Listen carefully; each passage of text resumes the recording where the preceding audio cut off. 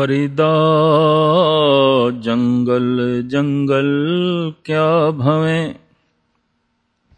ਵਣ ਕੰਡਾ ਮੋੜੇ, ਵਸੀ ਰਬ ਹਯਾਲੀਏ, ਜੰਗਲ ਕਿਆ ਢੂੰਡੇ?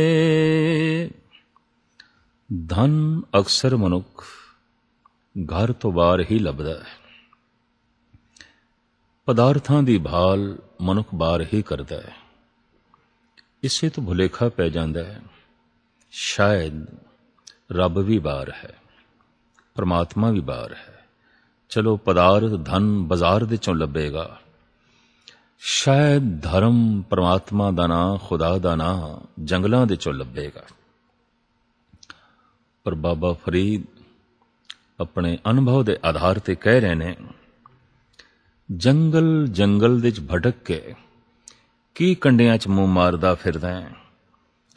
ਉਹ ਤੇ ਤੇਰੇ ਅੰਦਰ ਹੈ। ਤੂੰ ਅੰਦਰ ਝਾਤ ਮਾਰ। ਧਿਆਨ ਦੇ ਚ ਜੋੜ। ਉਸ ਦੇ ਨਾਮ ਨੂੰ ਜਪ ਕੇ ਆਪਣੀ ਸੁਰਤ ਨੂੰ ਅੰਤਰਮੁਖੀ ਕਰ। ਤੈਨੂੰ ਉੱਥੇ ਪ੍ਰਾਪਤੀ ਹੋ ਜਾਏਗੀ। ਤੈਨੂੰ ਲੱਭ ਜਾਏਗਾ। ਆਪ ਅਗਾਹ ਚੱਲ ਕੇ ਸਮਝਾਉਂਦੇ ਹੋਇਆਂ ਕਹਿੰਦੇ ਨੇ ਫਰੀਦਾ ਇੰਨੀ ਨਿੱਕੀ ਜੰਗੀਏ ਥਲ ਡੂੰਗਰ ਭੋਇਮ ਅਜ ਫਰੀਦੇ ਕੂਜੜਾ ਸੈਕੋ ਹਾਥਿਓ ਬਾਬਾ ਫਰੀਦ ਬਿਰਧ ਹੋ ਗਏ ਕਾਇਆ ਨਿਰਬਲ ਹੋ ਗਈ ਹੱਥ ਕੰਬਣ ਲੱਗ ਪਏ। ਪੈਰਾਂ 'ਚ ਵੀ ਕੰਬੜੀ। ਕਹਿੰਦੇ ਨੇ, ਇਨ੍ਹਾਂ ਛੋਟੀਆਂ ਜੀਆਂ ਲੱਤਾਂ ਦੇ ਨਾਲ ਮੈਂ ਬੜੇ ਬੜੇ ਪਹਾੜਾਂ ਤੇ ਡੂੰਗਰਾਂ ਤੇ ਭਰਮਣ ਕਰ ਆਉਂਦਾ ਸੀ। ਛਾਲ ਮਾਰ ਕੇ ਮੈਂ ਪਹਾੜਾਂ ਨੂੰ ਅਬੂਰ ਕਰ ਲੈਂਦਾ ਸੀ। ਕੋਲ ਪਿਆ ਕੂਜ਼ਾ, ਵਜ਼ੂ ਸਾਜਣਾ ਪਰ ਕੋਲ ਪਏ ਇਸ ਕੂਜ਼ੇ ਨੂੰ ਵੀ ਚੁੱਕਣਾ ਤੇ ਵਜ਼ੂ ਕਰਨਾ ਮੇਰੇ ਲਈ ਔਖਾ ਹੋ ਗਿਆ ਕਠਨ ਹੋ ਗਿਆ ਫਰੀਦਾ ਰਾਤੀ ਵੱਡੀਆਂ, ਦੁੱਖ ਦੁੱਖ ਉਠਨ ਪਾਸ ਧ੍ਰਿਗ ਤਿਨਾ ਦਾ ਜੀਵਿਆ ਜਿਨਾ ਵਿਡਾਣੀ ਆਸ। रात बहुत लंबी हो गई है ਔਰ ਇੱਕ ਸਚਾਈ ਹੈ ਦੁੱਖ ਦੇ ਸਮਾਂ ਬਹੁਤ ਲੰਬਾ ਹੋ ਜਾਂਦਾ ਹੈ ਸੁਖ ਦੇ ਸਮਾਂ ਛੋਟਾ ਹੋ ਜਾਂਦਾ ਹੈ ਪਰਮ ਆਨੰਦ ਦੇ ਸਮਾਂ ਖੋ ਜਾਂਦਾ ਹੈ ਸਮੇਂ ਨੂੰ ਨਾਪਣ ਦਾ ਢੰਗ ਇੱਕ ਬੈਰੂਨੀ ਹੈ ਬਾਹਰੋਂ ਹੈ ਹੱਥ ਤੇ ਬਣੀ ਹੋਈ ਘੜੀ ਨੂੰ ਵੇਖ ਕੇ ਸਮਾਂ ਵੇਖਣਾ ਧੁੱਪ ਛਾਂ ਨੂੰ ਵੇਖ ਕੇ ਅੰਦਾਜ਼ਾ ਲਾਣਾ ਹੁਣ ਦਿਨ ਦੇ ਕਿੰਨੇ ਪੈਰ ਹੋ ਚੁੱਕੇ ਨੇ, ਕਿੰਨਾ ਕੁ ਵਕਤ ਹੋ ਗਿਆ ਤੋ ਵਕਤ ਨੂੰ ਨਾਪਣ ਦਾ ਇੱਕ ਢੰਗ ਬੈਰੂਨੀ ਹੈ। ਵਕਤ ਨੂੰ ਸਮੇਂ ਨੂੰ ਨਾਪਣ ਦਾ ਇੱਕ ਢੰਗ ਅੰਦਰੂਨੀ ਹੈ। ਬਾਹਰ ਦਾ ਤੇ ਇਹ ਹੈ ਕਿ ਸੂਰਜ ਉਦੈ ਹੋ ਰਿਹਾ ਹੈ, ਦਿਨ ਦਾ ਪਹਿਲਾ ਪੈਰ ਹੈ। ਸਿਰ ਤੇ ਆ ਗਿਆ ਦੁਪਹਿਰ ਹੈ, ਸੂਰਜ ਢਲ ਗਿਆ ਤੇ ਪੈਰ ਹੈ। ਸੂਰਜ ਗਰੂਬ ਹੋ ਗਿਆ। ਰਾਤ ਦਾ ਚੌਥਾ ਪੈਰ ਰੁਕਸਤ ਹੋ ਗਿਆ। ਰਾਤ ਦਾ ਪਹਿਲਾ ਪੈਰ ਆਰੰਭ ਹੋ ਗਿਆ। ਇਹ ਸਮੇਂ ਨੂੰ ਨਾਪਣ ਤੋਲਣ ਦਾ ਬੈਰੂਨੀ ਢੰਗ ਹੈ। ਪਰ ਅੰਦਰੂਨੀ ਢੰਗ ਹੈ, ਦੁੱਖ ਦੇ ਸਮਾਂ ਬਹੁਤ ਲੰਬਾ ਹੋ ਜਾਂਦਾ ਹੈ। ਪੀੜਾ ਦੇ ਚ ਵੇਦਨਾ ਦੇ ਚ ਹੌਕਿਆਂ ਦੇ ਚ ਵਿਛੋੜੇ ਦੀ ਤਪਸ਼ ਦੇ ਚ ਸਮਾਂ ਬਹੁਤ ਲੰਬਾ ਹੋ ਜਾਂਦਾ ਹੈ।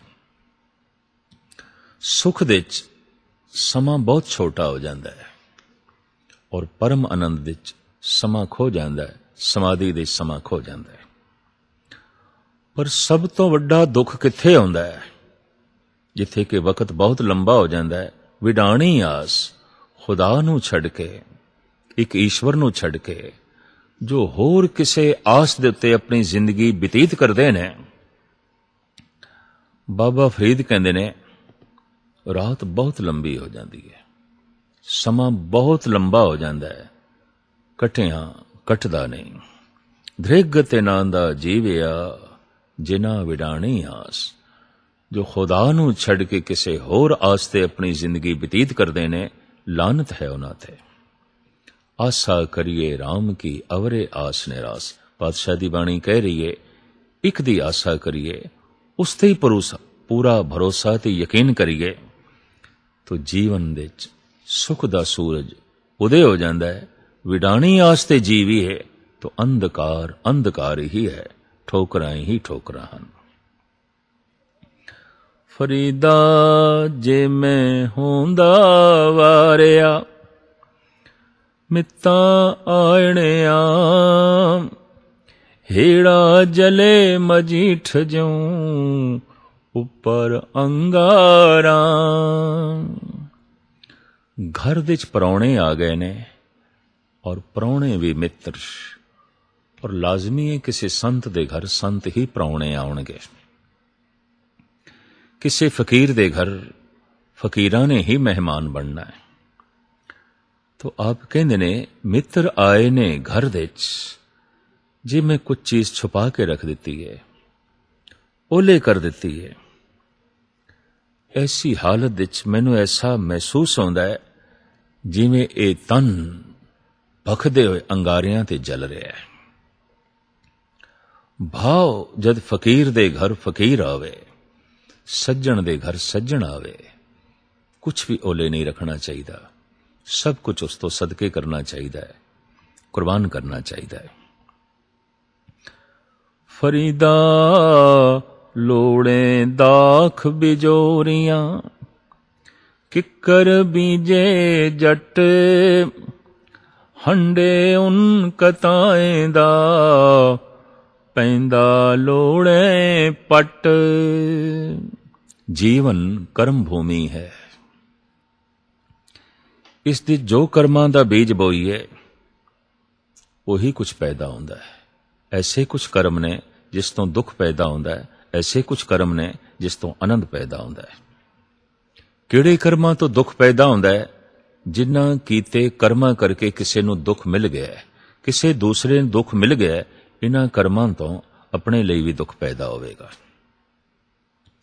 ਪਰ ਜਿਨ੍ਹਾਂ ਕਰਮਾਂ ਤੋਂ ਕਿਸੇ ਨੂੰ ਕੁਝ ਮਿਲ ਗਿਆ ਕੁਝ ਵੀ ਮਿਲਿਆ ਹੋਵੇ, ਗਿਆਨ ਮਿਲਿਆ ਹੋਵੇ, ਕਲਾ ਮਿਲੀ ਹੋਵੇ, ਸਕੂਨ ਮਿਲਿਆ ਹੋਵੇ, ਸ਼ਾਂਤੀ ਮਿਲੀ ਹੋਵੇ ਧਨ ਮਿਲਿਆ ਹੋਵੇ, ਸੰਪਦਾ ਮਿਲੀ ਹੋਵੇ, ਸੁਖ ਮਿਲਿਆ ਹੋਵੇ, ਇੱਜ਼ਤ, ਮਾਣ, ਮਰਿਆਦਾ ਮਿਲੀ ਹੋਵੇ, ਸਾਡੇ ਜਿਸ ਕਰਮ ਤੋਂ, ਜਿਸ ਨੂੰ ਕੁਝ ਮਿਲਿਆ ਇਸ ਤੋਂ ਸੁੱਖਾਂ ਦੀ ਪ੍ਰਾਪਤੀ ਹੁੰਦੀ ਹੈ। ਪਰ ਸਾਡੇ ਜਿਸ ਕਰਮ ਨੇ ਕਿਸੇ ਦਾ ਕੁਝ ਖੋ ਲਿਆ ਔਰ ਕੋਈ ਰੋਣ ਤੇ ਮਜਬੂਰ ਹੋ ਗਿਆ, ਦੁਖੀ ਹੋ ਗਿਆ, ਇਨ੍ਹਾਂ ਕਰਮਾਂ ਤੋਂ ਸਵਾਏ ਦੁੱਖਾਂ ਦੇ ਫਲ ਤੇ ਹੋਰ ਕੁਝ ਵੀ ਪ੍ਰਾਪਤ ਨਹੀਂ ਹੁੰਦਾ।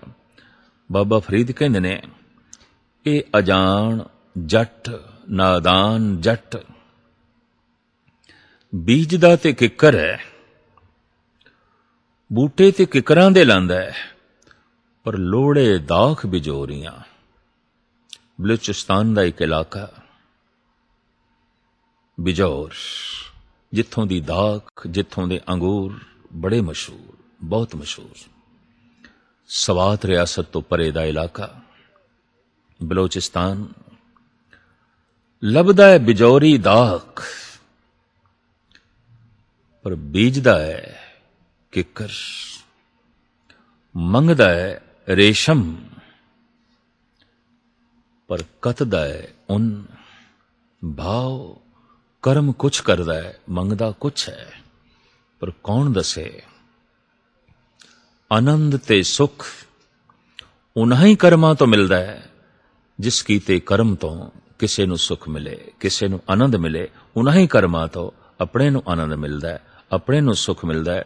ਕਿਸੇ ਨੂੰ ਸੁਖ ਦਿੱਤੇ ਬਿਨਾ ਸੁਖ ਪ੍ਰਾਪਤ ਕਰਨਾ ਬਹੁਤ ਔਖਾ ਹੈ, ਬਹੁਤ ਕਠਨ ਹੈ। ਬਾਬਾ ਫਰੀਦ ਇਸ ਸ਼ਲੋਕ ਦੇ ਰਾਹੀਂ ਇਹ ਕੁਝ ਸਮਝਾ ਰਹੇ ਨੇ।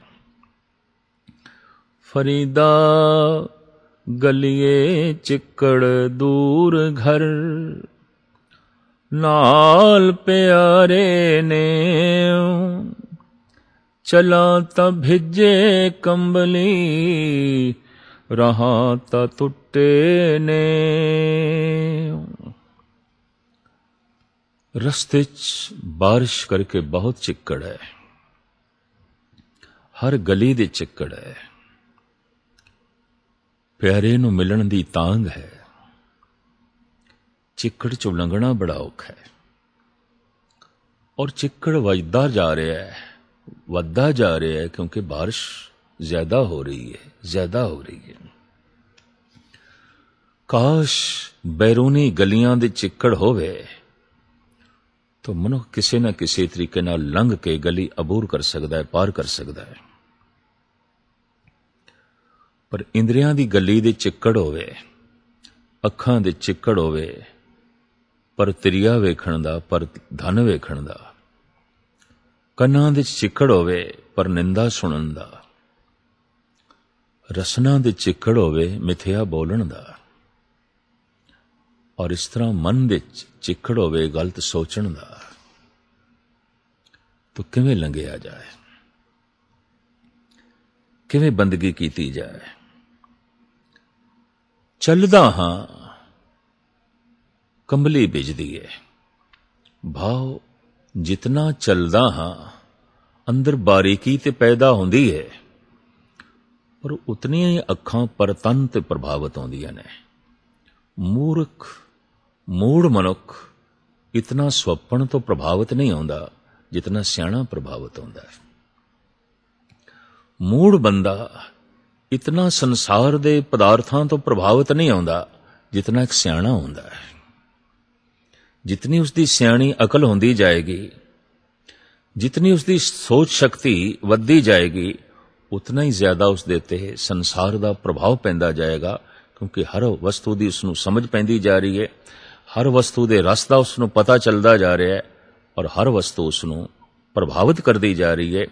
ਦੁਨੀਆ ਦੇ ਵਿੱਚ ਸੁਪਨ ਤੋਂ ਪ੍ਰਭਾਵਿਤ ਛੋਟੀ ਦੇ ਮਹਾਨ ਆਲਮ ਫਾਜ਼ਲੀ ਹੋਏ ਨੇ। ਤੋ ਬਾਬਾ ਫਰੀਦ ਕਹਿੰਦੇ ਨੇ, ਅਗਰ ਮੈਂ ਚੱਲਦਾ ਹਾਂ, ਤਾਂ ਅੱਖਾਂ ਦਾ ਚਿੱਕੜ ਵੱਧਦਾ ਹੈ, ਕੰਨਾਂ ਦਾ ਚਿੱਕੜ ਵੱਧਦਾ ਹੈ, ਰਸਨਾ ਤੇ ਮਨ ਦਾ ਚਿੱਕੜ ਵੱਧਦਾ ਹੈ,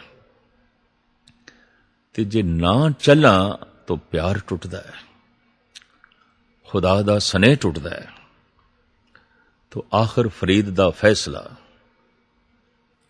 ਭਿੱਜੋ, ਸਿਜੋ, ਕੰਬਲੀ ਅੱਲੋ ਵਰਸੇ ਮੈਂ ਜਾਏ ਮਿਲਾ ਤਿਨਾ ਸਜਣਾ, ਟੁੱਟੋ ਨਾਈ ਨੇ ਬਾਰਿਸ਼ ਹੁੰਦੀ ਏ ਤੇ ਹੋਣ ਦਿਓ।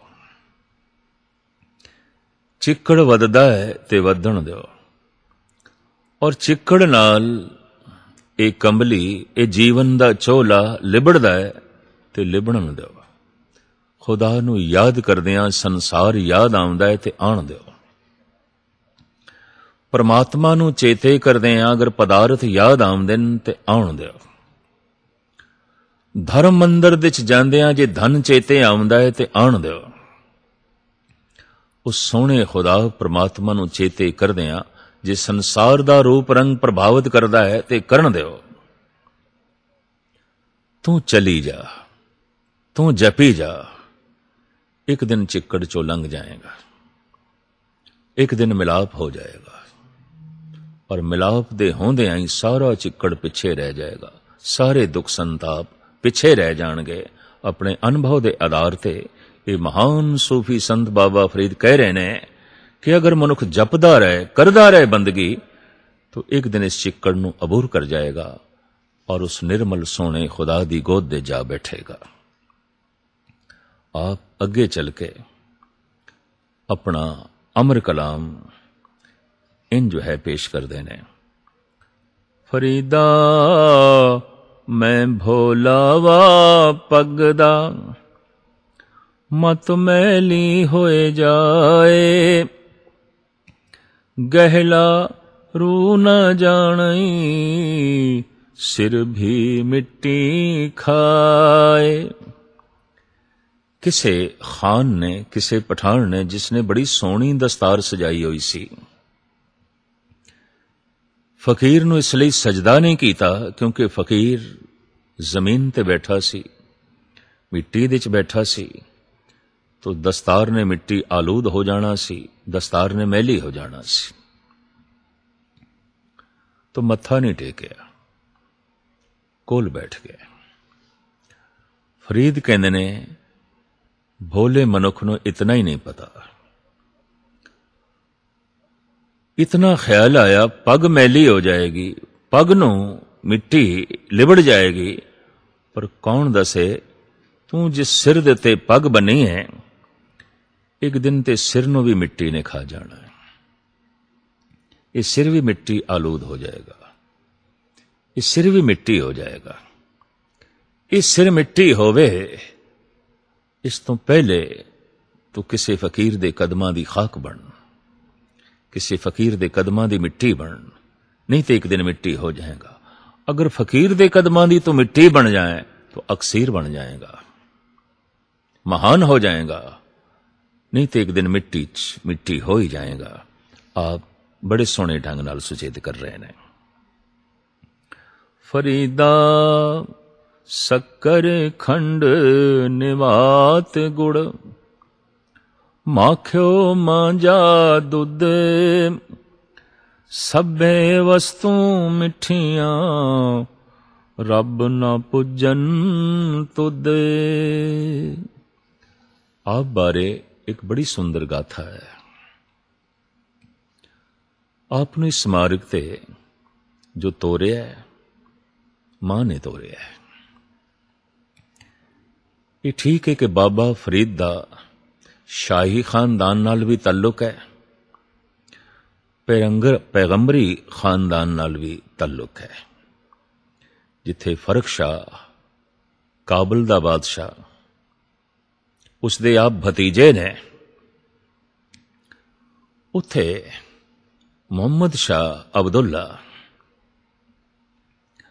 ਜੋ ਹਜ਼ਰਤ ਅਲੀ ਦੇ ਸ਼ਾਹੀ ਖਾਨਦਾਨ ਨਾਲ ਤਾਲੁਕ ਰੱਖਦਾ ਹੈ। ਹਜ਼ਰਤ ਅਲੀ ਦਾ ਰਿਸ਼ਤੇਦਾਰ ਹੈ। ਉਸ ਦੀ ਬੱਚੀ ਮਰੀਮ, ਜੋ ਜਲਾਲਉਦੀਨ ਨੂੰ ਵਿਆਹੀ ਗਈ ਔਰ ਉਸ ਦੀ ਕੁੱਖ ਤੋਂ ਆਪ ਜਨਮ ਲੈਂਦੇ ਨੇ। ਤੋ ਇਸ ਤਰ੍ਹਾਂ ਪੈਗੰਬਰੀ ਘਰਾਣੇ ਨਾਲ ਤੇ ਸ਼ਾਹੀ ਘਰਾਣੇ ਨਾਲ ਆਪ ਦਾ ਸੰਬੰਧ ਹੈ। ਮਾਂ ਬੜੀ ਸਤੋ ਗੁਣੀ ਹੈ। 7 ਸਾਲ ਦੀ ਆਪ ਦੀ ਉਮਰ ਹੈ, ਬੱਚਿਆਂ 'ਚ ਖੇਡ ਰਹੇ ਨੇ। ਮਾਂ ਆ ਕੇ ਕਹਿੰਦੀ ਏ, ਐ ਮੇਰੇ ਬੱਚੇ, ਸਵੇਰੇ ਖੇਡਦਾ ਦੁਪਹਿਰੇ ਖੇਡਦਾ ਸ਼ਾਮੀ ਖੇਡਦਾ ਕਦੀ ਖੁਦਾ ਨੂੰ ਵੀ ਯਾਦ ਕਰ ਲਿਆ ਕਰ, ਨਮਾਜ਼ ਵੀ ਪੜ ਲਿਆ ਕਰ। ਬੱਚੇ ਦਾ ਭੋਲਾ ਸੁਭਾਅ ਮਾਂ, ਖੁਦਾ ਕੀ ਦੇਗਾ? ਬੱਚਾ ਲੈਣ ਦੀ ਭਾਸ਼ਾ ਜਾਣਦਾ ਹੈ, ਦੇਣ ਦੀ ਨਹੀਂ। ਇੱਕ ਬੱਚੇ ਕੋਲ ਪੰਜ ਖਿਡੌਣੇ ਹੋਵਨ ਦੂਸਰੇ ਕੋਲ ਇੱਕ ਹੋਵੇ। ਤੇ ਸਿਰਫ ਇਤਨਾ ਕਹਿ ਦਈਏ, ਬੇਟਾ, ਤੇਰੇ ਕੋਲ ਪੰਜ ਖਿਡੌਣੇ ਨੇ, ਤੂੰ ਇੱਕ ਉਸ ਨੂੰ ਦੇ ਦੇ। ਤੇ ਇਹ ਬੱਚਾ ਦੂਸਰੇ ਦਾ ਇੱਕ ਖੋਣ ਦੀ ਤੇ ਕੋਸ਼ਿਸ਼ ਕਰੇਗਾ, ਆਪਣੇ ਪੰਜਾਂ ਦੇ ਚੋਂ ਇੱਕ ਦੇਣ ਨੂੰ ਰਾਜ਼ੀ ਨਹੀਂ ਹੋਵੇਗਾ। ਕਿਉਂ? ਦੇਣ ਦੀ ਭਾਸ਼ਾ ਜਾਣਦਾ ਹੀ ਨਹੀਂ। ਦੇਣ ਦਾ ਸੁਭਾਅ ਅਜੇ ਇਸ ਦੇ ਅੰਦਰ ਨਹੀਂ ਪੈਦਾ ਹੋਇਆ, ਖੋਣ ਦਾ, ਲੈਣ ਦਾ ਹੀ ਜਜ਼ਬਾ ਹੈ। ਖੁਦਾ ਕੀ ਦੇਵੇਗਾ? ਇਸ ਸਾਦਗੀ ਦੀ ਮੂਰਤੀ ਮਾਂ ਨੇ ਕਿਹਾ, ਐ ਮੇਰੇ ਬੱਚੇ, ਖੁਦਾ ਖੰਡ ਦੇਵੇਗਾ, ਖਜੂਰਾਂ ਦੇਵੇਗਾ, ਸ਼ਹਿਦ ਦੇਵੇਗਾ, ਘਿਓ ਦੇਵੇਗਾ, ਮੱਝ ਦਾ ਦੁੱਧ ਦੇਵੇਗਾ। ਮਿਠਾਈ ਦੇਵੇਗਾ। ਸਾਰੀਆਂ ਹੀ ਮਿੱਠੀਆਂ ਚੀਜ਼ਾਂ ਦਾ ਜਦ ਮਾਂ ਨੇ ਨਾ ਲਿਆ, ਉਸ ਜ਼ਮਾਨੇ ਦੀ ਸੌਗਾਤ ਫਰੀਦ ਦੇ ਮੂੰਹ ਵਿੱਚ ਪਾਣੀ ਆ ਗਿਆ। ਮਾਂ, ਤੋ ਫਿਰ ਮੈਨੂੰ ਨਮਾਜ਼ ਪੜ੍ਹਨੀ ਸਿਖਾ। ਮੈਂ ਪੜਾਂਗਾ ਨਮਾਜ਼। ਦੋ ਵਕਤ ਦੀ ਨਮਾਜ਼ ਮਾਂ ਨੇ ਇਸ ਨੂੰ ਪੜ੍ਹਨੀ ਸਿਖਾਈ। ਫਜਰ ਦੀ ਨਮਾਜ਼ ਇਸ਼ਾ ਦੀ ਨਮਾਜ਼ ਸਵੇਰ ਦੀ ਨਮਾਜ਼ ਸ਼ਾਮ ਦੀ ਨਮਾਜ਼ ਵਜ਼ੂ ਕਰਕੇ ਮੁੱਲਾ ਮਸੱਲਾ ਵਿਛਾ ਕੇ ਨਮਾਜ਼ ਜਦ ਪੜਨ ਲੱਗਿਆ ਅੱਖਾਂ ਮੀਟ ਕੇ ਮਾਂ ਨੇ ਮੁਸੱਲੇ ਦੇ ਥੱਲੇ ਖਜੂਰਾਂ ਰੱਖ ਦਿੱਤੀਆਂ ਨੇ ਨਮਾਜ਼ ਪੜਨ ਤੋਂ ਬਾਅਦ ਜੈਸੇ ਮੁਸੱਲਾ ਸਮੇਟਦਾ ਹੈ ਥੱਲੋਂ ਖਜੂਰਾਂ ਮਿਲੀਆਂ ਕਪੜੇ ਦੇ ਚ ਲਿਪਟੀਆਂ ਹੋਈਆਂ ਪ੍ਰਸੰਨ ਹੋ ਗਿਆ ਕਹਿੰਦਾ ਖੁਦਾ ਇਹ ਤੇ ਨਕਦ ਸੌਦਾ ਹੈ ਇਧਰ ਨਮਾਜ਼ ਪੜੋ ਇਧਰ ਖਜੂਰਾਂ ਵਿਸ਼ਵਾਸ ਬਚ ਗਿਆ ਭਰੋਸਾ ਬਚ ਗਿਆ ਸ਼ਾਮ ਦੀ ਨਮਾਜ਼ ਪੜੀ ਮਾਂ ਨੇ ਥੱਲੇ ਗੁੜ ਰੱਖ ਦਿੱਤਾ ਹੈ ਦੂਸਰੇ ਦਿਨ ਨਮਾਜ਼ ਪੜੀ ਮਾਂ ਨੇ ਥੱਲੇ ਮਿਠਾਈ ਰੱਖ ਦਿੱਤੀ ਕਦੀ ਕੁਛ ਕਦੀ ਕੁਛ ਰੋਜ਼ ਇਸ ਬੱਚੇ ਨੂੰ ਸਵੇਰੇ ਸ਼ਾਮ ਪ੍ਰਾਪਤ ਹੋ ਜਾਂਦਾ ਹੈ ਔਰ ਜਿਤਨਾ ਪ੍ਰਾਪਤ ਹੁੰਦਾ ਜਾ ਰਿਹਾ ਹੈ ਖੁਦਾਈ ਵਿਸ਼ਵਾਸ ਵੱਧਦਾ ਜਾ ਰਿਹਾ ਹੈ ਵੱਧਦਾ ਜਾ ਰਿਹਾ ਹੈ ਵੱਧਦਾ ਜਾ ਰਿਹਾ ਹੈ ਅੱਜ ਇੱਕ ਅਜੀਬੋ ਗਰੀਬ ਘਟਨਾ ਘਟ ਗਈ ਇਸ਼ਾ ਦੀ ਨਮਾਜ਼ ਦਾ ਵਕਤ। ਮਾਂ ਵਿਚਾਰੀ ਪਾਣੀ ਭਰਨ ਗਈ ਸੀ, ਪੁਰਾਣਾ ਜ਼ਮਾਨਾ। ਖੂਹ ਤੇ ਪਾਣੀ ਭਰਨ ਗਈ ਹੈ। ਫਰੀਦ ਦੇ ਨਮਾਜ਼ ਪੜਨ ਦਾ ਵਕਤ ਹੋ ਗਿਆ। ਮੁਸੱਲਾ ਵਿਛਾ ਕੇ ਉਜ਼ੂ ਕਰਕੇ ਜੁੜ ਕੇ ਨਮਾਜ਼ ਪੜਨ ਲੱਗਿਆ ਅੱਜ ਮਨ ਜੁੜ ਗਿਆ ਬੜਾ ਸਰੂਰ ਤਾਰੀ ਹੋਇਆ। ਬੜੀ ਮਸਤੀ ਮਿਲੀ ਹੈਰਾਨ ਹੋਇਆ ਖਜੂਰ ਸ਼ਹਿਦ ਮਿਠਾਈ ਇਹ ਤੇ ਕੁਝ ਵੀ ਨਹੀਂ ਇਹ ਤੇ ਖੇਡ ਹੀ ਕੁਝ ਹੋਰ ਹੈ ਅੱਜ ਮੁਸੱਲਾ ਜਦ ਚੁੱਕਿਆ ਨਮਾਜ਼ ਪੜਨ ਤੋਂ ਬਾਅਦ ਅੱਜ ਖਿਆਲ ਹੀ ਨਹੀਂ ਆਇਆ ਥੱਲੋਂ ਕੁਝ ਮਿਠਾਈ ਲੈਣੀ ਹੈ ਕਿਉਂ ਅੱਜ ਅਗੰਮੀ ਰਸ ਦੀ ਪ੍ਰਾਪਤੀ ਹੋ ਗਈ ਦੁਨੀਆ ਹੀ ਕੁਝ ਹੋਰ ਹੋ ਗਈ नेत्र सज्जल हो गए अश्क बार होए कि इतने दिन इस रस तो वांझी जिंदगी किस तरह रह गई ਐ ਨਾ ਰਸ ਹਾਲਾਂਕਿ ਉਮਰ ਤੇ ਕੁਝ ਵੀ ਨਹੀਂ 7 ਸਾਲ ਦੀ ਕੋਈ ਲੰਬਾ ਅਰਸਾ ਬਤੀਤ ਨਹੀਂ ਹੋਇਆ ਲੋਕੀ 80 ਸਾਲ ਦੀ ਉਮਰ ਵੀ ਅਜਾਈ ਗਵਾ ਛੱਡਦੇ ਨੇ ਲੇਕਿਨ ਪਛਤਾਪ ਜਾ ਗਿਆ ਇਸ ਅਗੰਮੀ ਰਸ ਤੋਂ ਇਹ ਜੀਵਨ ਇਤਨੇ ਸਾਲ ਵਾਂਝਾ ਕਿਉਂ ਰਹਿ ਗਿਆ? ਬੈਠੇ ਨੇ ਇੱਕ ਪਾਸੇ, ਨੇਤਰ ਸੱਜਲ। ਚਿਹਰਾ ਹੋਰ ਹੋਇਆ ਹੋਇਆ ਹੈ। ਅੱਜ ਮਸਤਕ ਕੁਛ ਹੋਰ ਹੈ। ਮਾਂ ਆ ਗਈ ਹੈ। ਉਹ ਜਦ ਦੇਖਦੀ ਏ ਫਰੀਦ ਨੂੰ, ਤੇ ਉਹਦੇ ਕੋਲ ਦੇਖਦੀ ਏ ਮੁਸੱਲੇ ਨੂੰ, ਤਾਂ ਖਿਆਲ ਆਇਆ ਫਰੀਦ ਨਮਾਜ਼ ਪੜ ਬੈਠਾ ਹੈ। ਅੱਜ ਇਸ ਨੂੰ ਖਜੂਰਾਂ ਨਹੀਂ ਮਿਲੀਆਂ। ਅੱਜ ਇਸ ਨੂੰ ਮਿਠਾਈ ਨਹੀਂ ਮਿਲੀ। ਪਤਾ ਨਹੀਂ ਇਹ ਕੱਲ ਤੋਂ ਨਮਾਜ਼ ਪੜੇਗਾ ਕਿ ਨਹੀਂ ਪੜੇਗਾ ਲੱਗਦਾ ਇਸ ਦਾ ਭਰੋਸਾ ਟੁੱਟ ਗਿਆ ਹੈ। ਇਹਦੀਆਂ ਅੱਖਾਂ ਸੱਜਲ ਨੇ, ਰੋ ਰਿਹਾ ਹੈ। ਮਾਂ ਇੱਕਦਮ ਅੰਦਰ ਭੱਜੀ ਹੋਈ ਗਈ। ਥਾਲ ਵਿੱਚ ਸ਼ਹਿਦ ਦੀ ਕਟੋਰੀ ਰੱਖੀ। ਲੱਡੂ ਰੱਖੇ। ਖਜੂਰਾਂ ਰੱਖੀਆਂ। ਕਿਸ਼ਮਿਸ਼ ਰੱਖੀ, ਦਾਖ ਰੱਖੀ। ਤੇ ਥਾਲੀ ਫਰੀਦ ਦੇ ਅੱਗੋਂ ਕਰਕੇ ਕਹਿਣ ਲੱਗੀ, ਐ ਮੇਰੇ ਬੱਚੇ, ਅੱਜ ਖੁਦਾ ਨੂੰ ਜਲਦੀ ਬੜੀ ਸੀ। ਔਰ ਉਹ ਮੈਨੂੰ ਦੇ ਗਿਆ, ਉਸਨੇ ਮੈਨੂੰ ਇਹ ਆਖਿਆ, ਫਰੀਦ ਨੂੰ ਦੇ ਦੇਣਾ। ਚੀਖ ਨਿਕਲ ਗਈ, ਫਰੀਦ ਦੇ ਮੂੰਹੋਂ ਮਾਂ ਅੱਜ ਤੇ ਖੁਦਾ ਮੈਨੂੰ ਹੀ ਦੇ ਗਿਆ ਰੋਜ਼ ਖੁਦਾ ਤੇਰੇ ਹੱਥੋਂ ਮੈਨੂੰ ਝੂਠੀਆਂ ਖਜੂਰਾਂ ਦਿੰਦਾ ਸੀ। ਅੱਜ ਮੈਨੂੰ ਸੱਚੀ ਖਜੂਰ ਮਿਲ ਗਈ। ਖੁਦਾ ਨਹੀਂ ਦੇ ਦਿੱਤੀ ਹੈ। ਤੈਨੂੰ ਖੇਚਲ ਕਰਨ ਦੀ ਹੁਣ ਲੋੜ ਨਹੀਂ। ਤੈਨੂੰ ਵਿਚੋਲਾ ਬਣਨ ਦੀ ਹੁਣ ਕੋਈ ਲੋੜ ਨਹੀਂ। ਖੁਦਾ ਨੇ ਸਿੱਧਾ ਹੀ ਮੈਨੂੰ ਰਸ ਦੇ ਦਿੱਤਾ ਹੈ। ਇਸ ਵਾਸਤੇ ਹੁਣ ਸਭ ਇਹ ਚੀਜ਼ਾਂ ਬੇਮੈਨੀ ਨੇ, ਫਿਜ਼ੂਲ ਨੇ। ਕਿਹੜੀਆਂ? ਫਰੀਦਾ, ਸ਼ੱਕਰ ਖੰਡ ਨਿਵਾਤ ਗੁੜ। ਮਖਿਓ ਮਾਂਜਾ ਦੁੱਧ। ਸਭੇ ਵਸਤੂ ਮਿੱਠੀਆਂ, ਰੱਬ ਨਾ ਪੁੱਜਨ ਤੁਦ ਏ ਰੱਬ, ਏ ਖੁਦਾ, ਜੋ ਤੇਰੇ ਨਾਮ ਦੇ ਮਿਠਾਸ ਹੈ ਉਸ ਦੇ ਸਾਹਮਣੇ ਖਜੂਰਾਂ ਕੀ ਨੇ? ਇਹ ਗੁੜ ਕੀ ਹੈ? ਇਹ ਸ਼ੱਕਰ ਕੀ ਹੈ? ਇਹ ਸ਼ਹਿਦ ਕੀ ਹੈ? ਤੂੰ ਬਹੁਤ ਮਿੱਠਾ ਹੈ, ਬਹੁਤ ਮਿੱਠਾ ਹੈ, ਅਤਿਅੰਤ ਸਵਾਦੀ ਹੈ। ਫਰੀਦਾ, ਰੋਟੀ ਮੇਰੀ ਕਾਠ ਕੀ? ਲਾਵਣ ਮੇਰੀ ਭੁਖ ਜਿੰਨਾ ਖਾਦੀ ਚੋਪੜੀ, ਘਣੇ ਸਹਿਣਗੇ ਦੁੱਖ।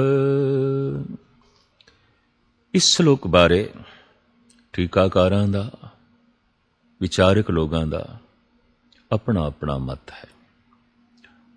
ਔਰ ਭਗਤ ਮਾਲ ਦੇ ਵਿੱਚ, ਇਸ ਸੰਬੰਧ ਵਿੱਚ ਕਈ ਤਰ੍ਹਾਂ ਦੀਆਂ ਸਾਖੀਆਂ ਨੇ। ਦਰਸਲ ਲੱਕੜ ਦੀ ਰੋਟੀ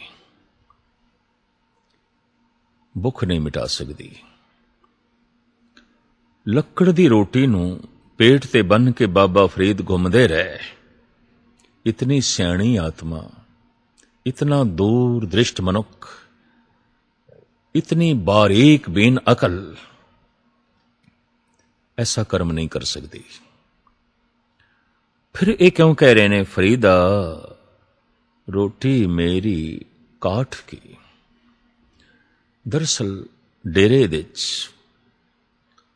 ਅਕਸਰ ਘਰਾਂ ਘਰਾਂ ਤੋਂ ਮੰਗੀਆਂ ਹੋਈਆਂ ਰੋਟੀਆਂ ਭਿਕਸ਼ਾ ਦੇ ਚ ਰੋਟੀਆਂ ਆਉਂਦੀਆਂ ਸਨ ਲੋਕੀ ਬੱਚੀ ਕੁੱਚੀ ਰੋਟੀ ਦੇ ਦਿੰਦੇ ਸਨ ਬਾਬਾ ਫਰੀਦ ਬਿਰਧ ਹੋ ਚੁੱਕੇ ਸਨ ਮੂੰਹ ਵਿੱਚ ਦੰਦ ਨਹੀਂ ਸਨ ਸੁੱਕੀ ਰੋਟੀ ਨੂੰ ਜੈਸੇ ਮੂੰਹ ਵਿੱਚ ਪਾਨ ਤੇ ਇੰਜ ਪ੍ਰਤੀਤ ਹੋਵੇ ਜੈਸੇ ਲੱਕੜ ਨੂੰ ਮੂੰਹ ਚ ਪਾ ਰਹੇ ਨੇ ਸੁੱਕੀ ਰੋਟੀ ਅੱਜ ਵੀ ਤਸ਼ਬੀਹ ਦਿੰਦੇ ਨੇ ਇਹ ਤੇ ਲੱਕੜ ਵਰਗੀ ਹੈ ਕੀ ਖਾਈਏ ਇਹ ਤੇ ਲੱਕੜ ਵਰਗੀ ਹੈ ਉਸੇ ਤਸ਼ਬੀਹ ਨੂੰ ਬਾਬਾ ਫਰੀਦ ਵਰਤ ਰਹੇ ਨੇ ਇੱਕ ਤੇ ਮੇਰੇ ਦੰਦ ਨਹੀਂ ਇੱਕ ਇਹ ਰੋਟੀ ਸੁੱਕੀ ਰੋਟੀ ਮੇਰੀ ਕਾਠ ਕੀ ਲਾਵਣ ਮੇਰੀ ਭੁੱਖ ਲੈਂਦੇ ਪੰਜਾਬ ਦੇ ਵਿੱਚ। ਸਾਗ ਸਬਜ਼ੀ ਨੂੰ ਲਾਵਣ ਕਹਿੰਦੇ ਨੇ।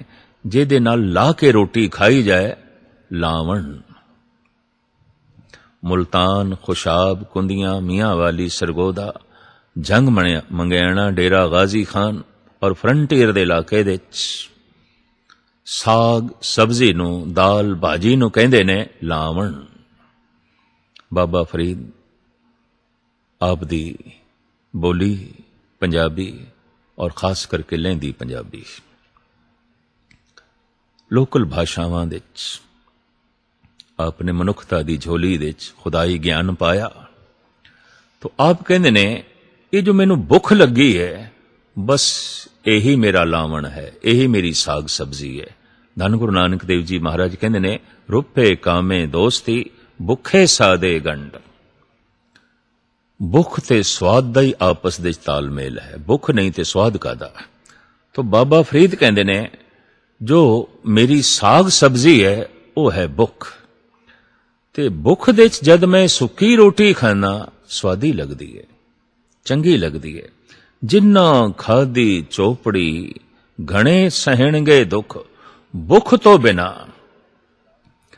ਜੋ ਚੋਪੜੀ ਤੇ ਹੋਰ ਤਰ੍ਹਾਂ ਤਰ੍ਹਾਂ ਦੇ ਪਦਾਰਥ ਖਾਂਦੇ ਨੇ, ਪਰ ਭੁੱਖ ਨਹੀਂ ਹੈ। ਬਹੁਤ ਦੁੱਖ ਸਹਾਰਣਗੇ ਭੁੱਖ ਤੋਂ ਬਿਨਾ ਖਾਣਾ ਦੁੱਖ ਹੀ ਹੈ। ਇੱਕ ਇੱਕ ਬੁਰਕੀ ਦੁੱਖ ਨੂੰ ਜਨਮ ਦੇਗੀ। ਇੱਕ ਇੱਕ ਬੁਰਕੀ ਰੋਗ ਨੂੰ ਜਨਮ ਦੇਗੀ। ਇੱਕ ਇੱਕ ਬੁਰਕੀ ਪੀੜਾ ਨੂੰ ਪੈਦਾ ਕਰੇਗੀ। ਬਾਬਾ ਫਰੀਦ ਇਸ ਸ਼ਲੋਕ ਦੇ ਰਾਹੀਂ ਇਹੀ ਕੁਝ ਸਮਝਾ ਰਹੇ ਨੇ। ਜੋ ਭੁੱਖ ਹੈ, ਬਸ ਇਹੀ ਮੇਰੀ ਸਾਗ ਸਬਜ਼ੀ ਹੈ ਔਰ ਇਸ ਲਈ ਜਦ ਮੈਂ ਸੁੱਕੀ ਰੋਟੀ ਖਾਣਾ ਤਾਂ ਵੀ ਸਵਾਦੀ ਲੱਗਦੀ ਹੈ ਪਚ ਜਾਂਦੀ ਹੈ ਤੇ ਸਰੀਰ ਦੇ ਅਨੁਕੂਲ ਬਕਾਇਦਾ ਜੋ ਹੈ ਕੰਮ ਕਰਦੀ ਹੈ ਪਰ ਭੁੱਖ ਹੀ ਨਹੀਂ ਹੈ ਤੇ ਤਰ੍ਹਾਂ ਤਰ੍ਹਾਂ ਦੇ ਸਵਾਦੀ ਤੇ ਪੋਸ਼ਟਿਕ ਖਾਣੇ ਖਾਦੇ ਗਏ ਨੇ। ਇੱਕ ਇੱਕ ਬੁਰਕੀ ਰੋਗ ਨੂੰ ਜਨਮ ਦੇਵੇਗੀ। ਭੁੱਖ ਤੋਂ ਬਿਨਾ ਖਾਣਾ ਦੁੱਖ ਹੀ ਹੈ। ਐਸਾ ਇਸ ਸ਼ਲੋਕ ਦੇ ਰਾਹੀਂ ਬਾਬਾ ਫਰੀਦ ਜਗਤ ਨੂੰ ਗਿਆਨ ਦੇ ਰਹੇ ਨੇ।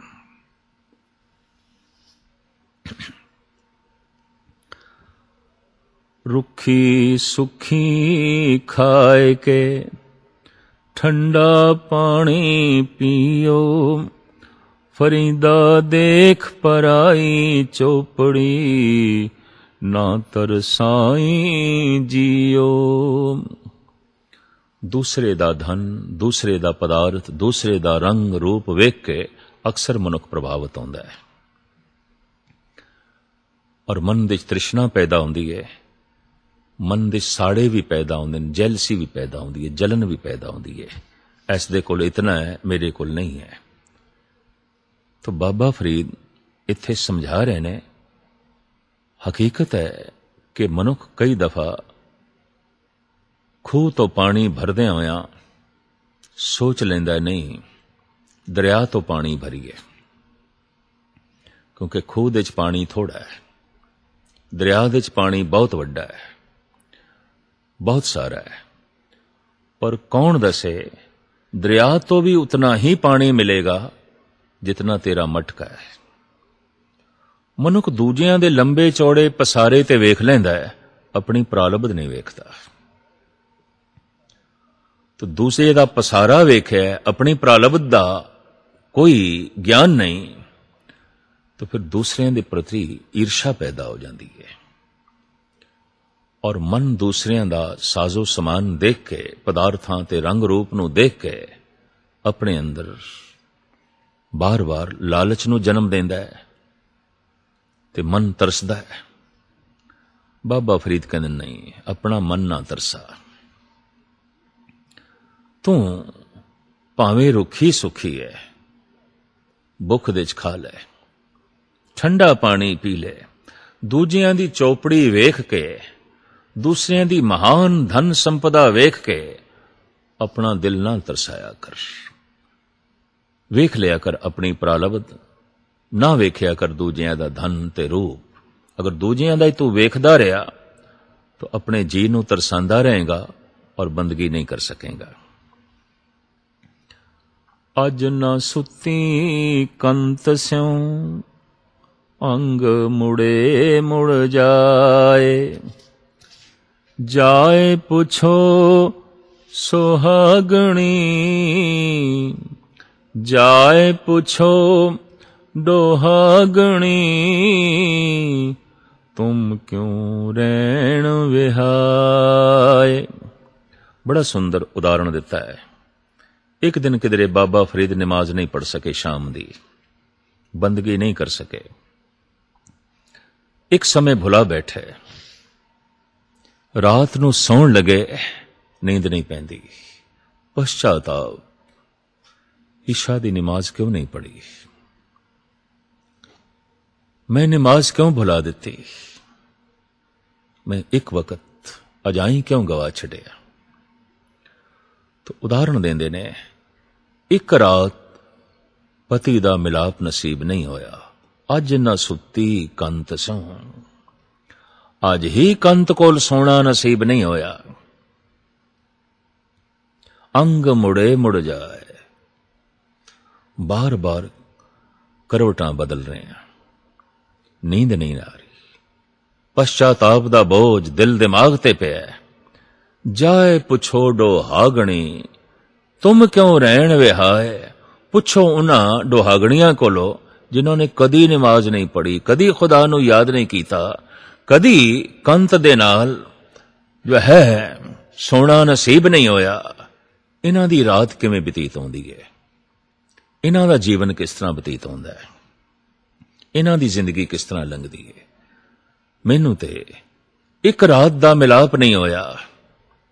ਤੇ ਤੜਪਣਾ ਹੈ, ਕਰਵਟਾਂ ਦਾ ਬਦਲਣਾ ਹੈ, ਤੇ ਜਿਨ੍ਹਾਂ ਨੂੰ ਕਦੀ ਨਸੀਬ ਨਹੀਂ ਹੋਇਆ, ਉਹ ਕਿਵੇਂ ਆਪਣੀ ਜ਼ਿੰਦਗੀ ਕੱਟ ਰਹੀਆਂ ਨੇ?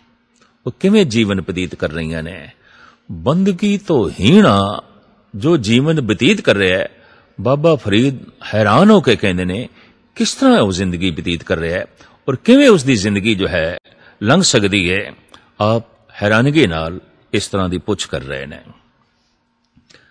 ਸਾਹੁਰੇ ਢੋਈ ਨਾ ਲਹੇ ਪਈਏ ਨਾਈ ਥਾਉ ਪਿਰ ਵਾਤੜੀ ਨਾ ਪੁੱਛਈ। ਧਨ ਸੁਹਾਗਣ ਨਾ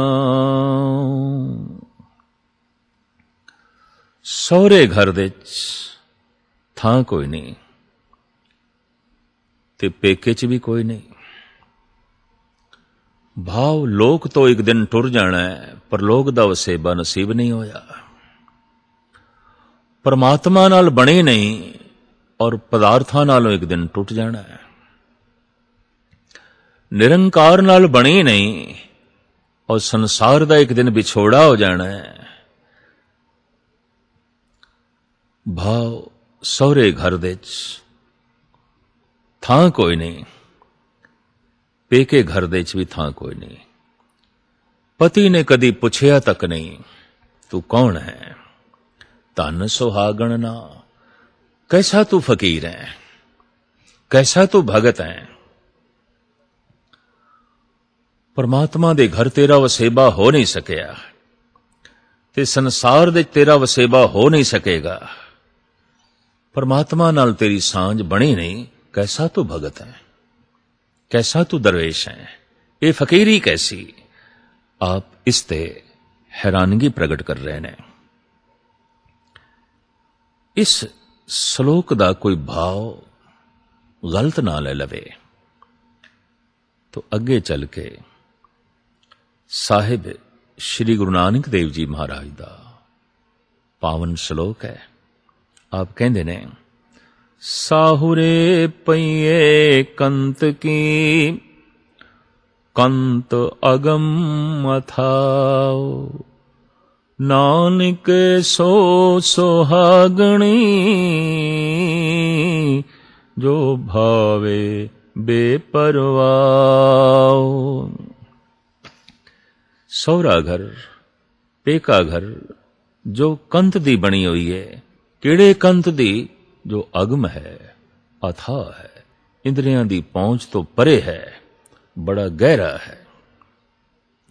ਉਹ ਸੁਹਾਗਣੀ ਹੈ ਜਿਹੜੇ ਉਸ ਅਗਮ ਅਥਾ ਬੇਪਰਵਾਹ ਪ੍ਰਮਾਤਮਾ ਨੂੰ ਭਾ ਜਾਂਦੀ ਹੈ ਚੰਗੀ ਲੱਗ ਜਾਂਦੀ ਹੈ ਮਨੁੱਖ ਦੇ ਵਸ ਦੀ ਕੀ ਗੱਲ? ਕੋਸ਼ਿਸ਼ ਕਰਦਾ ਹੈ ਮਨੁੱਖ, ਪ੍ਰਭੂ ਨੂੰ ਪਿਆਰਾ ਹੋ ਜਾਵਾਂ। ਕੋਸ਼ਿਸ਼ ਕਰਦਾ ਹੈ ਮਨੁੱਖ, ਲੋਕ ਸਬਰ ਜਾਏ। ਲੋਕ ਦੇ ਥਾਂ ਕੋਈ ਨਹੀਂ, ਪਰ ਲੋਕ ਸਵਰਿਆ ਕੋਈ ਨਹੀਂ। ਪਰਮਾਤਮਾ ਨਾਲ ਸਾਂਝ ਨਹੀਂ ਬਣੀ। ਤੋ ਧੰਨ ਗੁਰੂ ਨਾਨਕ ਦੇਵ ਜੀ ਮਹਾਰਾਜ ਕਹਿੰਦੇ ਨੇ ਉਹ ਪਰਮਾਤਮਾ ਅਗਮ ਹੈ, ਅਥਾ ਹੈ, ਬੇਪਰਵਾਹ ਹੈ। ਇਹ ਤੇ ਜਿਹੜੀ ਉਸ ਨੂੰ ਭਾ ਜਾਏ, ਬਸ ਉਹੀ ਸੁਆਗਣੀ ਹੈ। ਜੋ ਨਹੀਂ ਭਾਈ, ਉਹੀ ਢਵਾਗਣੀ ਹੈ। ਇਹ ਫੈਸਲਾ ਪ੍ਰਮਾਤਮਾ ਤੇ ਹੈ, ਇਹ ਫੈਸਲਾ ਫਕੀਰ ਤੇ ਨਹੀਂ ਹੈ। ਇਹ ਫੈਸਲਾ ਅਕਾਲ ਪੁਰਖ ਤੇ ਹੈ, ਇਹ ਫੈਸਲਾ ਭਗਤ ਤੇ ਨਹੀਂ ਹੈ। ਦਰਅਸਲ ਕਹੇ ਤੇ ਇਹੀ ਰਹੇ ਨੇ, ਬਾਬਾ ਫਰੀਦ ਵੀ। ਪਰ ਅਰਥ ਕਰਨ ਲੱਗਿਆਂ ਭੁਲੇਖਾ ਨਾ ਪੈ ਜਾਏ। ਧੰਨ ਗੁਰੂ ਨਾਨਕ ਦੇਵ ਜੀ ਮਹਾਰਾਜ ਇਸ ਨੂੰ ਬੜੇ ਸੋਹਣੇ ਢੰਗ ਨਾਲ ਖੋਲਦੇ ਨੇ। ਬਾਬਾ ਫਰੀਦ ਅਗਾਹ ਇਸ ਨੂੰ ਇੰਜ ਬਿਆਨ ਕਰਦੇ ਨੇ। ਨਾਤੀ ਧੋਤੀ ਸੰਬਈ ਸੁੱਤੀ ਆਏ ਨਚਿੰਦੇ ਫਰੀਦਾ ਰਹੀ ਸੋ ਬੇੜੀ ਹਿੰਗ ਦੀ ਗਈ ਕਥੂਰੀ ਗੰਦੇ। ਇਸ਼ਨਾਨ ਵੀ ਕਰ ਕਰ ਲਿਆ। ਸੁੰਦਰ ਬਸਤਰ ਵੀ ਪਹਿਨ ਲਏ। ਹਾਰ ਸ਼ਿੰਗਾਰ ਵੀ ਕਰ ਲਿਆ। ਕਸਤੂਰੀ ਦੀ ਸੁਗੰਧ ਵੀ ਲਾ ਲਈ। ਸਭ ਕੁਝ ਹਾਰ ਸ਼ਿੰਗਾਰ ਸੋਨਾ ਕਰਕੇ ਫਿਰ ਸੌਂ ਗਈ। ਗਹਿਰੀ ਨੀਂਦ ਦੇ ਸੌ ਗਈ ਤੋ ਸੰਬੰਧ ਜੋੜਨ ਲਈ ਤੇ ਜਾਗਰਤੀ ਚਾਹੀਦੀ ਹੈ ਇਹ ਤੇ ਸੌ ਗਈ ਤੋ ਫਿਰ ਕੀ ਹੋਇਆ ਉਹ ਸੁਗੰਧ ਵੀ ਉੱਡ ਗਈ ਕਪੜਿਆਂ 'ਚ ਵੀ ਸਲੋਟਾਂ ਪੈ ਗਈਆਂ ਸ਼ਿੰਗਾਰ ਵੀ ਬੇਢੰਗਾ ਹੋ ਗਿਆ ਔਰ ਰਾਤ ਐਵੇਂ ਲੰਘ ਗਈ ਕਰਮ ਕਾਂਡ ਮਨੁੱਖ ਨੇ ਸਾਰਾ ਕੀਤਾ ਸਾਰਾ ਕਰਮ ਕਾਂਡ ਕੀਤਾ ਤੀਰਥਾਂ ਦਾ ਰਟਨ ਕੀਤਾ ਵਰਤ ਰੱਖੇ ਦੇਵੀ ਦੇਵਤਿਆਂ ਨੂੰ ਮਨਾਇਆ ਦੂਸਰੇ ਪਾਸੇ ਜਾਈਏ ਰੋਜ਼ੇ ਰੱਖੇ ਹਜ ਕੀਤਾ ਪੂਰੀ ਸ਼ਰਾ ਦੇ ਮੁਤਾਬਕ ਆਪਣੀ ਜੀਵਨੀ ਬਤੀਤ ਕੀਤੀ ਆਪਣੀ ਜ਼ਿੰਦਗੀ ਬਤੀਤ ਕੀਤੀ ਲੇਕਿਨ ਰਹੇ ਅਚੇਤ ਸੁਚੇਤ ਨਹੀਂ ਹੋ ਸਕੇ ਪ੍ਰਮਾਤਮਾ ਦਾ ਕੋਈ ਗਿਆਨ ਨਹੀਂ ਮਿਲ ਸਕਿਆ ਤੇ ਨਾ ਹੀ ਉਸ ਦਾ ਕੋਈ ਚਿੰਤਨ ਕੀਤਾ, ਸਿਰਫ ਉਪਰੋਕਤ ਕਰਮ ਕਾਂਡ ਦੇ ਚ, ਸਿਰਫ ਬੇਰੋਨੀ ਕਰਮ ਕਾਂਡ ਦੇ ਚ ਆਪਣੀ ਜ਼ਿੰਦਗੀ ਬਤੀਤ ਕੇ ਕਰ ਦਿੱਤੀ, ਤੋ ਇੱਕ ਦਿਨ ਕੀ ਆਉਂਦਾ ਹੈ, ਕਰਮ ਕਾਂਡ ਕਰਦਿਆਂ ਕਰਦਿਆਂ ਮਨੁੱਖ ਕਰਮ ਕਾਂਡ ਤੋਂ ਤੇ ਉਕਤਾ ਜਾਂਦਾ ਹੈ ਔਰ ਉਸ ਪਰਮਾਤਮਾ ਦੀ ਪ੍ਰਾਪਤੀ ਤੋਂ ਵਾਂਝਾ ਰਹਿ ਜਾਂਦਾ ਹੈ। ਭਾਵ ਸ਼ਿੰਗਾਰ ਹੈ, ਪਰਮਾਤਮਾ ਦੇ ਮਿਲਾਪ ਲਈ ਸ਼ਿੰਗਾਰ ਸਿਰਫ ਸ਼ਿੰਗਾਰ ਲਈ ਨਹੀਂ ਹੈ ਕਰਮ ਕਾਂਡ ਹੈ। ਪਰਮਾਤਮਾ ਤੱਕ ਪਹੁੰਚਣ ਵਾਸਤੇ ਕਰਮ ਕਾਂਡ ਕੋਈ ਪਹੁੰਚ ਨਹੀਂ ਹੈ। ਸ਼ਰਾ ਹੈ ਖੁਦਾ ਤੱਕ ਪਹੁੰਚਾਉਣ ਲਈ। ਸ਼ਰਾ ਆਪਣੇ ਆਪ ਦੇ ਚ ਖੁਦਾ ਤੋਂ ਬਿਨਾ ਕੁਝ ਵੀ ਨਹੀਂ। ਖੁਦਾ ਨਾਲ ਜੋੜ ਦਈਏ ਤਾਂ ਸ਼ਰਾ ਮਹਾਨ ਹੈ। ਦਰਅਸਲ ਬਾਬਾ ਫਰੀਦ ਇਸ ਪਾਵਨ ਸ਼ਲੋਕ ਦੇ ਰਾਹੀਂ ਇਹ ਜਗਤ ਨੂੰ ਸੰਦੇਸ਼ ਦੇ ਰਹੇ ਨੇ। ਜੋ ਬਨ ਜਾਂਦੇ ਨਾ ਡਰਾ, ਜੇ ਸੈ ਪ੍ਰੀਤ ਨ ਜਾਏ। ਫਰੀਦਾ ਕਿਤੀ ਜੋ ਬਨ ਪ੍ਰੀਤ ਬਿਨ ਸੁੱਕ ਗਏ ਕੁਮਲਾਏ। ਜਵਾਨੀ ਜਾਂਦੀ ਏ ਤੇ ਜਾਵੇ। ਜੀਵਨ ਵਿੱਚ ਸਭ ਤੋਂ ਵੱਡਾ ਗਮ ਇਹੀ ਹੁੰਦਾ ਹੈ। ਜਵਾਨੀ ਨਾ ਜਾਏ। ਬਚਪਨ ਜਾਂਦਾ ਹੈ, ਜਾਵੇ, ਖੁਸ਼ੀ ਨਾਲ ਜਾਵੇ। ਜਵਾਨੀ ਨਹੀਂ ਜਾਣੀ ਚਾਹੀਦੀ। ਮਨੁੱਖ ਆਖਰੀ ਦਮ ਤੱਕ ਜਵਾਨੀ ਨੂੰ ਰੋਕਣ ਦੀ ਕੋਸ਼ਿਸ਼ ਕਰਦਾ ਹੈ। ਕੇਸ ਚਿੱਟੇ ਹੋ ਰਹੇ ਨੇ, ਕਾਲੇ ਕਰ ਰਿਹਾ ਹੈ। ਝੁਰੀਆਂ ਪੈ ਰਹੀਆਂ ਨੇ, ਚਿਹਰੇ ਨੂੰ ਸਵਾਰਨ, ਸ਼ਿੰਗਾਰਨ ਦੀ ਕੋਸ਼ਿਸ਼ ਕਰ ਰਿਹਾ ਹੈ। ਜਵਾਨ ਦਿਸਾਂ। ਜਵਾਨੀ ਨੂੰ ਕੋਈ ਵੀ ਰੁਖਸਤ ਨਹੀਂ ਕਰਨਾ ਚਾਹੁੰਦਾ। ਇਹ ਗੱਲ ਵੱਖਰੀ ਹੈ, ਜਵਾਨੀ ਰੁਖਸਤ ਵੀ ਹੋ ਜਾਂਦੀ ਹੈ, ਤਾਂ ਵੀ ਬੰਦਾ ਸਮਝ ਲੈਂਦਾ, ਨਹੀਂ, ਜਵਾਨੀ ਮੇਰੇ ਕੋਲ ਬੈਠੀ ਹੈ, ਇਸ ਬੁਲੇਖੇ 'ਚ ਰਹਿੰਦਾ ਹੈ। ਔਰ ਇਸ ਗੱਲ ਤੋਂ, ਇਸ ਗੱਲ ਦਾ ਸਬੂਤ ਮਿਲਦਾ ਹੈ ਕਿ ਜਵਾਨੀ ਤੋਂ ਕੋਈ ਅਹਮ ਖਾਸ ਚੀਜ਼ ਇਸ ਨੂੰ ਪ੍ਰਾਪਤ ਨਹੀਂ ਹੋ ਸਕੀ, ਵਰਨਾ ਜਵਾਨੀ ਦੀ ਇਤਨੀ ਤੜਪ ਨਾ ਰਹਿੰਦੀ, ਵਰਨਾ ਜਵਾਨੀ ਦੀ ਇਤਨੀ ਖਿੱਚ ਨਾ ਰਹਿੰਦੀ। ਬਾਬਾ ਫਰੀਦ ਕਹਿੰਦੇ ਨੇ, ਜਵਾਨੀ ਜਾਂਦੀ ਏ ਤੇ ਜਾਵੇ। ਜਵਾਨੀ ਦਾ ਜੋਬਨ ਜਾਂਦਾ ਹੈ ਤੇ ਜਾਵੇ। ਪਰ ਖੁਦਾ ਦੀ ਪ੍ਰੀਤ ਨਹੀਂ ਜਾਣੀ ਚਾਹੀਦੀ। ਐ ਖੁਦਾ, ਜਾਂਦੀ ਏ, ਜਵਾਨੀ ਜਾਵੇ। ਮੈਂ ਇਸ ਨੂੰ ਰੋਕਣ ਦੀ ਕੋਸ਼ਿਸ਼ ਨਹੀਂ ਕਰਦਾ ਤੇ ਨਾ ਹੀ ਇਹ ਰੁਕ ਸਕਦੀ ਹੈ ਪਰ ਤੇਰੀ ਪ੍ਰੀਤ ਮੇਰੇ ਕੋਲ ਰੁਕਣੀ ਚਾਹੀਦੀ ਹੈ ਤੇਰੀ ਪ੍ਰੀਤ ਨਹੀਂ ਜਾਣੀ ਚਾਹੀਦੀ। ਫਰੀਦਾ ਕਿਤੀ ਜੋਬਨ ਪ੍ਰੀਤ ਬਿਨ ਸੁੱਕ ਗਏ ਕੁਮਲਾਏ। ਪਤਨਾ ਪਤਾ ਨਹੀਂ ਕਿਤਨੀਆਂ ਜਵਾਨੀਆਂ ਸੁੱਕ ਕੇ ਕੁਮਲਾ ਗਈਆਂ। ਬੁਢੇਪੇ ਦੀ ਕਬਰ ਦੇ ਜਾ ਪਈਆਂ, ਪ੍ਰਭੂ ਪ੍ਰੀਤ ਤੋਂ ਬਿਨਾ, ਖੁਦਾਈ ਇਸ਼ਕ ਤੋਂ ਬਿਨਾ। ਇਸ ਵਾਸਤੇ हे ਖੁਦਾ, ਤੇਰੀ ਪ੍ਰੀਤ ਨਹੀਂ ਜਾਣੀ ਚਾਹੀਦੀ, ਜਵਾਨੀ ਜਾਂਦੀ ਏ ਤੇ ਜਾਵੇ ਪਈ। ਇਸ ਦੀ ਮੈਨੂੰ ਕੋਈ ਲਾਲਸਾ ਨਹੀਂ, ਤੜਪ ਹੈ, ਖਿੱਚ ਹੈ ਤੇਰੀ ਪ੍ਰੀਤ ਦੀ। ਤੇਰੇ ਪਿਆਰ ਦੀ। ਫਰੀਦਾ, ਚਿੰਤ ਖਟੋਲਾ, ਵਾਣ ਦੁਖ ਬਿਰੇ ਵਿਛਾਵਣ ਲੇਪ। ਏਓ ਹਮਾਰਾ ਜੀਵਣਾ, ਤੂੰ ਸਾਹਿਬ ਸੱਚੇ ਵੇਖ। ਬਿਰਹੇ ਦੀ ਪੀੜਾ, ਵਿਛੋੜੇ ਦੀ ਪੀੜਾ। ਜਿਸ ਨਾਲ ਜਿਤਨਾ ਪਿਆਰ ਹੋਵੇ ਵਿਛੋੜੇ ਦੀ ਪੀੜਾ ਉਤਨੀ ਮਹਾਨ ਹੋ ਜਾਂਦੀ ਹੈ ਉਸ ਸਾਹਿਬ ਨਾਲ, ਉਸ ਸੱਚੇ ਨਾਲ ਪਿਆਰ ਹੈ, ਤਾਂ ਫਰੀਦ ਕਹਿੰਦੇ ਨੇ, ਐ ਖੁਦਾ, ਤੇਰੇ ਵਿਛੋੜੇ ਦੇ ਚ ਅਸੀਂ ਇਸ ਢੰਗ ਨਾਲ ਜੀ ਰਹੇ ਹਾਂ ਚਿੰਤ ਖਟੋਲਾ। ਚਿੰਤਾ ਦੀ ਖਟਿਆ ਹੈ।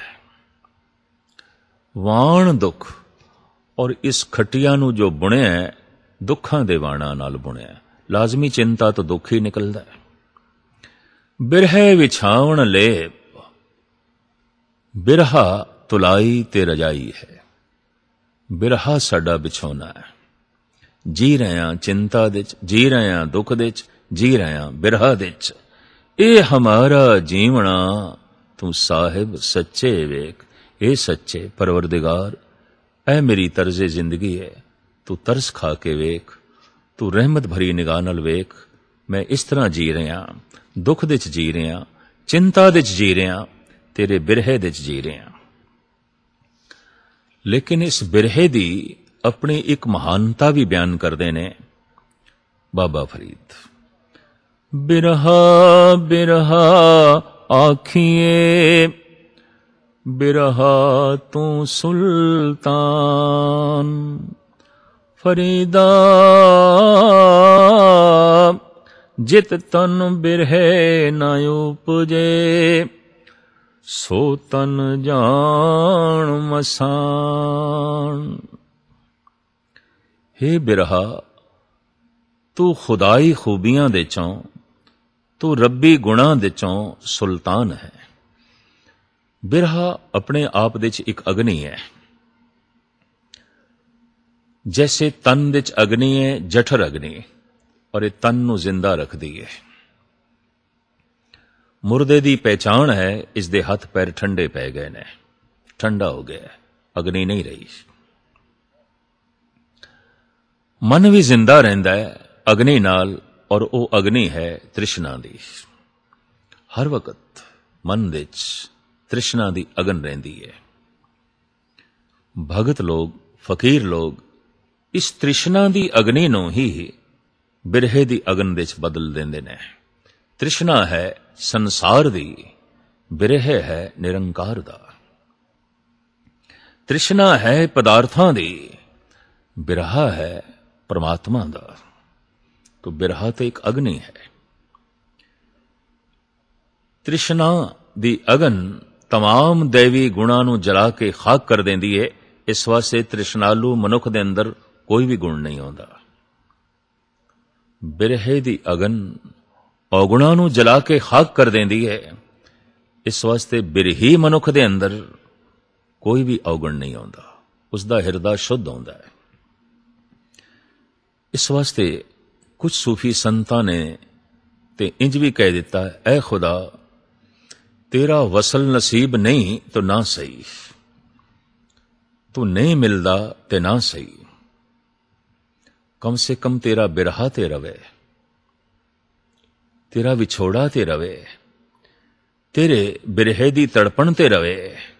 या रब, दुआए वसल, ना हर गिस कबूल हो। फिर दिल में क्या रहेगा जो हसरत निकल गई? ए प्रभु, ए हसरत ते रहनी दे। ਇਹ ਬਿਰਹਾ ਤੇ ਰਹਿਣ ਦੇ। ਇੱਕੋ ਹੀ ਬਿਰਹਾ ਹੈ, ਜਿਸ ਦੇ ਚ ਦੁੱਖ ਹੁੰਦਿਆਂ ਹੋਇਆਂ ਵੀ ਸੁੱਖ ਹੈ। ਬੜਾ ਰਸ ਹੈ।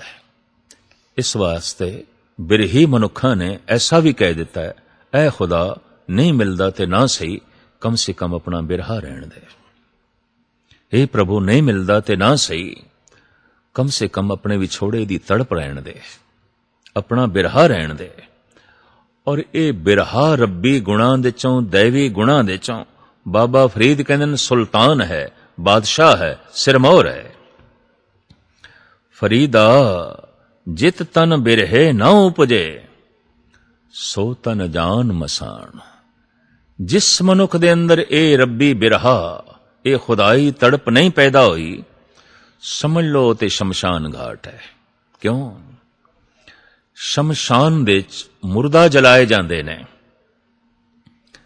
ਤੇ ਜਿਸ ਹਿਰਦੇ ਵਿੱਚ ਬਿਰਹੇ ਦੀ ਅਗਨ ਨਹੀਂ, ਉੱਥੇ ਤ੍ਰਿਸ਼ਨਾ ਦੀ ਅਗਨ ਹੈ ਔਰ ਤ੍ਰਿਸ਼ਨਾ ਦੀ ਅਗਨ ਦੇ ਵਿੱਚ ਜ਼ਿੰਦਾ ਮਨੁੱਖ ਜਲਦੇ ਨੇ। ਜ਼ਿੰਦਾ ਲਾਸ਼ਾਂ ਜਲਦੀਆਂ ਨੇ। ਜ਼ਿੰਦਾ ਮਨੁੱਖ ਜਲਦੇ ਨੇ। ਔਰ ਉਹ ਚਲਦਾ ਫਿਰਦਾ ਸ਼ਮਸ਼ਾਨ ਘਾਟ ਹੈ, ਜਿਸ ਦੇ ਅੰਦਰ ਤ੍ਰਿਸ਼ਨਾ ਹੈ, ਹਰ ਵਕਤ ਜਲ ਰਿਹਾ ਹੁੰਦਾ ਹੈ। ਤ੍ਰਿਸ਼ਨਾ ਦੀ ਅਗਨ ਉਸ ਦੀ ਸ਼ਾਂਤੀ ਨੂੰ ਜਲਾ ਕੇ ਭਸਮ ਕਰ ਦਿੰਦੀ ਹੈ। ਤ੍ਰਿਸ਼ਨਾ ਦੀ ਅਗਨ ਬਰਦਾਸ਼ਤ ਦਾ ਮਾਦਾ ਨਹੀਂ ਰਹਿਣ ਦਿੰਦੀ। ਤ੍ਰਿਸ਼ਨਾ ਦੀ ਅਗਨ ਧੀਰਜ ਨਹੀਂ ਰਹਿਣ ਦਿੰਦੀ। ਤ੍ਰਿਸ਼ਨਾ ਦੀ ਅਗਨ ਸਮਦ੍ਰਿਸ਼ਟੀ ਨਹੀਂ ਰਹਿਣ ਦਿੰਦੀ। ਤ੍ਰਿਸ਼ਨਾ ਦੀ ਅਗਨ ਦਇਆ ਨੂੰ ਨਹੀਂ ਰਹਿਣ ਦਿੰਦੀ। ਸਾਰੇ ਦੇਵੀ ਗੁਣਾਂ ਨੂੰ ਜਲਾ ਕੇ ਖਾਕ ਕਰ ਦਿੰਦੀ ਏ ਔਰ ਇਹ ਅਗਨ ਹਰ ਵਕਤ ਜਲਦੀ ਰਹੇ ਤੋ ਮਨੁੱਖ ਚਲਦਾ ਫਿਰਦਾ ਸ਼ਮਸ਼ਾਨ ਘਾਟੀ ਬਣ ਕੇ ਰਹਿ ਜਾਂਦਾ। ਤੋ ਬਾਬਾ ਫਰੀਦ ਕਹਿੰਦੇ ਨੇ, ਜਿਸ ਮਨੁੱਖ ਦੇ ਅੰਦਰ ਵੀ ਇਹ ਬਿਰਹੇ ਦੀ ਅਗਨ ਨਹੀਂ ਪੈਦਾ ਹੋਈ, ਸਮਝ ਲਓ ਉਹ ਮਸਾਨ ਹੈ। ਉਹ ਸ਼ਮਸ਼ਾਨ ਘਾਟ ਹੈ। ਫਰੀਦਾ, ਏ ਵਿਸ ਗੰਦਲਾ ਧਰੀਆਂ ਖੰਡ ਲਿਵਾੜ, ਇਕ ਰਾਹ ਦੇ ਰਹਿ ਗਏ, ਇਕ ਰਾਹ ਦੀ ਗਏ ਉਜਾੜ। ਵਿਕਾਰਾਂ ਦੀ ਇਹ ਖੇਤੀ ਜ਼ਹਿਰ ਭਰੀਆਂ ਗੰਦਲਾਂ ਨੇ ਇਹ ਜ਼ਹਿਰ ਭਰੀ ਸਾਗ ਸਬਜ਼ੀਆਂ ਨੇ ਵਿਕਾਰਾਂ ਦੀਆਂ ਇਹ ਗੰਦਲਾਂ ਵਾਸ਼ਨਾਵਾਂ ਦੀਆਂ ਇਹ ਗੰਦਲਾਂ ਟੀਕਾਕਾਰਾਂ ਨੇ ਵਿਦਵਾਨਾਂ ਨੇ ਪ੍ਰਾਚੀਨ ਟਕਸਾਲੀਆਂ ਨੇ ਇੰਜ ਵੀ ਅਰਥ ਕੀਤੇ ਨੇ ਇਹ ਇਸਤਰੀਆਂ ਜ਼ਹਿਰ ਭਰੀਆਂ ਗੰਦਲਾਂ ਨੇ ਇੱਕ ਰਾਹ ਦੇ ਰਹਿ ਗਏ ਨੇ ਇੱਕ ਰਾਹ ਦੀ ਉਜਾੜ ਕਰਕੇ ਚਲੇ ਗਏ ਨੇ ਭਾਵ ਇੱਕ ਭੋਗਦਿਆਂ ਭੋਗਦਿਆਂ ਖੁਦ ਰਹਿ ਗਏ ਨੇ ਇੱਕ ਭੋਗਦਿਆਂ ਭੋਗਦਿਆਂ ਉਜਾੜ ਕੇ ਚਲੇ ਗਏ ਨੇ ਬੇਵਾ ਕਰਕੇ ਚਲੇ ਗਏ ਨੇ ਖੇਤੀ ਉਜਾੜ ਕੇ ਚਲੇ ਗਏ ਨੇ ਪਰ ਇਹ ਦੂਸਰੇ ਅਰਥੀ ਕਿਸੇ ਹੱਦ ਤੱਕ ਮਨ ਨੂੰ ਅਪੀਲ ਕਰਦੇ ਨੇ ਇਹ ਪਦਾਰਥ ਦੀ ਵਾਸ਼ਨਾ, ਇਹ ਸੰਸਾਰ ਦੀ ਵਾਸ਼ਨਾ ਦੀ ਖੇਤੀ ਵਿਸ ਭਰੀਆਂ ਗੰਦਲਾਂ ਨੇ। ਇੱਕ ਰਾਹ ਦੇ ਰਹਿ ਗਏ, ਇੱਕ ਤੇ ਬੋਂਦਿਆਂ ਬੋਂਦਿਆਂ ਹੀ ਰਹਿ ਗਏ। ਇੱਕ ਤੇ ਪਦਾਰਥਾਂ ਨੂੰ ਭੋਗਦਿਆਂ ਭੋਗਦਿਆਂ ਹੀ ਰਹਿ ਗਏ ਜਿਵੇਂ ਭਰਤਰੀ ਕਹਿੰਦੇ ਨੇ, ਮੈਂ ਨਹੀਂ ਭੋਗਿਆ ਪਦਾਰਥਾਂ ਨੂੰ, ਪਦਾਰਥਾਂ ਨੇ ਮੈਨੂੰ ਭੋਗ ਲਿਆ ਖਤਮ ਨਹੀਂ ਹੋਏ ਪਦਾਰਥ ਮੈਂ ਖਤਮ ਹੋ ਗਿਆ। ਤੋ ਠੀਕ ਕਹਿ ਰਹੇ ਨੇ ਬਾਬਾ ਫਰੀਦ। ਇੱਕ ਰਾਹ ਦੇ ਰਹਿ ਗਏ, ਇੱਕ ਭੋਗਦਿਆਂ ਭੋਗਦਿਆਂ ਰਹਿ ਗਏ। ਇੱਕ ਭੋਗ ਕੇ ਚਲੇ ਗਏ, ਫਸਲ ਸੁੰਨੀ ਛੜ ਗਏ, ਪਦਾਰਥ ਛੋੜ ਗਏ, ਮਕਾਨ ਖੜਾ ਹੈ, ਧੀਆਂ ਪੁੱਤਰ ਮੌਜੂਦ ਨੇ, ਧਨ ਸੰਪਦਾ ਮੌਜੂਦ ਹੈ, ਸਾਰਾ ਰੰਗ ਰੂਪ ਮੌਜੂਦ ਹੈ। ਆਪ ਨਹੀਂ ਰਹੇ। ਰੁਖਸਤ ਹੋ ਗਏ, ਚਲੇ ਗਏ। ਬਾਬਾ ਫਰੀਦ, ਇੱਕ ਇੱਕ ਸ਼ਲੋਕ ਦੇ ਰਾਹੀਂ ਅੰਮ੍ਰਿਤਮਈ ਸੌਗਾਤ ਮਨੁੱਖਤਾ ਦੀ ਝੋਲੀ ਦੇ ਜੋ ਹੈ ਪਾ ਰਹੇ ਨੇ। ਸੁਚੇਤ ਕਰਨ ਲਈ ਅਗਲੇ ਸ਼ਲੋਕ ਵਿੱਚ ਕਹਿੰਦੇ ਨੇ, ਫਰੀਦਾ ਚਾਰ ਗਵਾਇਆ ਹੰਡ ਕੇ, ਚਾਰ ਗਵਾਇਆ ਸਮ। ਲੇਖਾ ਰੱਬ ਮੰਗੇਸੀਆ, ਤੂੰ ਆਹੋ ਕੇਰੇ ਕਮ। ਦਿਨ ਦੇ ਚਾਰ ਪੈਰ ਤੂੰ ਕੰਮ ਕਰਕੇ ਤਰ੍ਹਾਂ ਤਰ੍ਹਾਂ ਦੇ ਪਦਾਰਥਾਂ ਨੂੰ ਹੰਡਾ ਕੇ ਗਵਾਇਆ। ਰਾਤ ਦੇ ਚਾਰ ਪੈਰ ਤੂੰ ਸੌਂ ਕੇ ਗਵਾਏ। ਪਰ ਇਹ ਹਿਸਾਬ ਕਿਤਾਬ ਤੇ ਰੱਬ ਨੇ ਮੰਗਣਾ ਹੈ। ਤੂੰ ਕਿਸ ਲਈ ਇਸ ਜਗਤ ਦੇ ਚ ਆਇਆ ਸੀ? ਇਸ ਦੁਨੀਆ ਦੇ ਚ ਕਿਸ ਲਈ ਆਇਆ ਸੀ? ਤੇਰੀ ਜ਼ਿੰਦਗੀ ਦਾ ਲਕਸ਼ ਕੀ ਸੀ? ਸਿਰਫ ਸੋਣਾ? ਸਿਰਫ ਪਦਾਰਥਾਂ ਦਾ ਭੋਗਣਾ? ਨਹੀਂ। ਤੇਰੀ ਜ਼ਿੰਦਗੀ ਦਾ ਲਕਸ਼ ਤੇ ਖੁਦਾ ਸੀ। ਤੇਰੀ ਮੰਜ਼ਿਲ ਤੇ ਖੁਦਾ ਸੀ। ਪਰ ਤੂੰ ਤੇ ਜ਼ਿੰਦਗੀ ਗਵਾ ਛੱਡੀ ਸੌਂ ਕੇ, ਹੰਡਾ ਕੇ। ਖਾ ਕੇ ਤੇ ਸੌਂ ਕੇ। ਭੋਗ ਕੇ ਤੇ ਸੌਂ ਕੇ ਇਸ ਤਰ੍ਹਾਂ ਜੋ ਹੈ ਤੂੰ ਜ਼ਿੰਦਗੀ ਬਤੀਤ ਕਰ ਦਿੱਤੀ। ਲਕਸ਼ ਤੱਕ ਪਹੁੰਚਿਆ ਹੀ ਨਹੀਂ। ਮੰਜ਼ਿਲ ਤੱਕ ਪਹੁੰਚਿਆ ਹੀ ਨਹੀਂ। ਰਸਤਾ ਚਾਹੇ ਕਿਤਨਾ ਸੁਖੈਨ ਹੋਵੇ, ਰਸਤਾ ਚਾਹੇ ਕਿਤਨਾ ਸੁੰਦਰ ਹੋਵੇ, ਪਰ ਰਸਤੇ ਵਿੱਚ ਆਰਾਮ ਕਿੱਥੇ, ਰਸਤੇ ਵਿੱਚ ਵਿਸ਼ਰਾਮ ਕਿਤੇ ਆਰਾਮ ਵਿਸ਼ਰਾਮ ਤੇ ਘਰ ਵਿੱਚ ਹੀ ਹੋ ਸਕਦਾ ਹੈ। ਰਸਤੇ ਵਿੱਚ ਨਹੀਂ। ਸੌ ਜਾਣਾ, ਖਾ ਲੈਣਾ, ਭੋਗ ਲੈਣਾ, ਸੋ ਲੈਣਾ ਇਹ ਤੇ ਰਸਤਾ ਹੈ। ਠੀਕ ਹੈ, ਲੋੜ ਹੈ ਰਸਤੇ ਦੀ ਵੀ ਪਰ ਕੋਈ ਰਸਤੇ ਨੂੰ ਘਰ ਬਣਾ ਲਵੇ। ਰਸਤੇ ਨੂੰ ਹੀ ਲਕਸ਼ ਸਮਝ ਲਵੇ। ਰਾਹ ਨੂੰ ਹੀ ਮੰਜ਼ਿਲ ਸਮਝ ਲਵੇ। ਉਹ ਤੇ ਭੁਲੇ ਹੋਇਆ ਹੈ। ਉਹ ਤੇ ਭੁਲੇਖੇ ਦੇ ਚ ਹੈ। ਤੋ ਬਾਬਾ ਫਰੀਦ ਸੁਚੇਤ ਕਰਦੇ ਨੇ, ਸੁੱਤਾ ਹੈ ਖਾਦਾ ਪੀਤਾ ਹੈ, ਠੀਕ ਹੈ। ਪਰ ਤੇਰੀ ਜ਼ਿੰਦਗੀ ਦਾ ਲਕਸ਼ ਤੇ ਖੁਦਾ ਹੋਣਾ ਚਾਹੀਦਾ ਹੈ। ਪਰ ਤੂੰ ਤੇ ਆਪਣੀ ਜ਼ਿੰਦਗੀ ਦਾ ਲਕਸ਼ ਹੀ ਇਹੀ ਕੁਝ ਬਣਾ ਦਿੱਤਾ ਹੈ। ਭਾਈ ਸਾਹਿਬ, ਭਾਈ ਨੰਦ ਲਾਲ ਕਹਿੰਦੇ ਨੇ, ਬੰਦਾ ਪੈਦਾ ਸ਼ੁੱਧ ਬਰਾਏ ਬੰਦਗੀ। ਐ ਬੰਦੇ, ਤੂੰ ਬੰਦਗੀ ਲਈ ਹੈ ਸਭ ਕੁਝ ਤੇਰੇ ਲਈ ਹੈ ਤੂੰ ਬੰਦਗੀ ਲਈ ਹੈ ਇਸ ਨੂੰ ਜਨਾਬ ਹਾਫਿਜ਼ ਇੰਜ ਬਿਆਨ ਕਰਦੇ ਨੇ, ਈਰਾਨ ਦੇ ਸੂਫੀ ਸੰਤ ਹਾਫਿਜ਼ खुरदन बराए जीसतन व ज़िक्र करदन अस्त। खाना पीना इस वास्ते है कि तू ज़िंदा रवे, और ज़िंदगी इस वास्ते है कि तू ज़िक्र इलाही करें। श्री कबीर भी कहते ने, दो सिर मांगो चूना, पाए गयो संगलूना अद सिर मांगो दाले, मुको दोनों वक्त जिवाले, खाट मांगो चौपाई। सिरहाना और तुलाई ਉਪਰ ਕੋ ਮੰਗੋ ਖੀਦਾ, ਤੇਰੀ ਭਗਤ ਕਰੇ ਜਨ ਥੀਦਾ। ਮੈਂ ਨਾਹੀ ਕੀਤਾ ਲੱਭੋ ਏ ਈਸ਼ਵਰ, ਮੈਂ ਲੋਭ ਨਹੀਂ ਕੀਤਾ। ਇੱਕ ਨਾਮ ਤੇਰਾ ਮੈਂ ਫੱਬੋ, ਮੈਨੂੰ ਫੱਬਦਾ ਹੈ ਤੇਰਾ ਨਾਮ। ਮੈਨੂੰ ਰਸ ਮਿਲਦਾ ਹੈ ਤੇਰੇ ਨਾਮ ਦੇ ਚੋਂ। ਪਰ ਤੇਰੇ ਨਾਮ ਦੇ ਚੋਂ ਮੈਂ ਰਸ ਮਾਣ ਸਕਾਂ ਜ਼ਿੰਦਗੀ ਚਾਹੀਦੀ ਏ। ਔਰ ਜ਼ਿੰਦਗੀ ਤਾਂ ਰਹਿੰਦੀ ਏ ਸਾਰੇ ਪਦਾਰਥ ਹੋਵਨ। ਪਦਾਰਥ ਮੰਗਦਾ ਮੈਂ ਜ਼ਿੰਦਗੀ ਲਈ, ਔਰ ਜ਼ਿੰਦਗੀ ਮੰਗਦਾ ਤੇਰੀ ਬੰਦਗੀ ਲਈ, ਤਾਂ ਬਾਬਾ ਫਰੀਦ ਕਹਿੰਦੇ ਨੇ, ਜ਼ਿੰਦਗੀ ਦਾ ਲਕਸ਼ ਖਾ ਲੈਣਾ, ਸੋ ਲੈਣਾ, ਭੋਗ ਲੈਣਾ, ਸੋ ਲੈਣਾ, ਇਹ ਨਹੀਂ ਹੈ। ਜ਼ਿੰਦਗੀ ਦਾ ਲਕਸ਼ ਹੈ ਖੁਦਾ, ਜੀਵਨ ਦੀ ਮੰਜ਼ਿਲ ਹੈ ਖੁਦਾ। ਉਹ ਤੂੰ ਸੁਚੇਤ ਹੋ ਕੇ ਆਪਣੇ ਮੰਜ਼ਿਲ ਦੀ ਤਰਫ ਜੋ ਹੈ, ਚੱਲ। ਬਾਬਾ ਫਰੀਦ ਆਪਣਾ ਇੱਕ ਹੋਰ ਅਨੁਭਵ ਮਨੁੱਖਤਾ ਦੇ ਸਾਹਮਣੇ ਰੱਖਦੇ ਨੇ। ਫਰੀਦਾ ਦਰ ਦਰਵਾਜੇ ਜਾਏ ਕੇ, ਕਿਉਂ ਡਿਠੋ ਘੜਿਆਲ? ਇਹਨੇ ਦੋਸਾਂ ਮਾਰੀਏ, ਹਮ ਦੋਸਾਂ ਦਾ ਕਿਆ ਹਾਲ? ਪੁਰਾਣੇ ਜ਼ਮਾਨੇ 'ਚ ਹਰ ਥਾਣੇ ਦੇ 'ਚ ਇੱਕ ਘੜਿਆਲ ਹੁੰਦਾ ਸੀ। ਉਸ ਨੂੰ ਵਜਾਉਂਦੇ ਸਨ। ਦਿਨ ਦਾ ਹੁਣ ਪਹਿਲਾ ਪੈਰ ਹੋਇਆ 2 ਵਜ ਗਏ, ਦੂਜਾ ਪੈਰ ਹੋਇਆ 3 ਵਜ ਗਏ, ਤੀਜਾ ਪੈਰ ਹੋਇਆ 4 ਵਜਾ ਦੇ ਤੇ ਰਾਤ, ਦਿਨ ਦਾ ਚੌਥਾ ਪੈਰ ਹੋਇਆ ਦਿਨ ਤੇ ਰਾਤ ਦੇ 4 8 ਪੈਰ 4 4 ਕਰਕੇ ਔਰ 60 ਘੜੀਆਂ।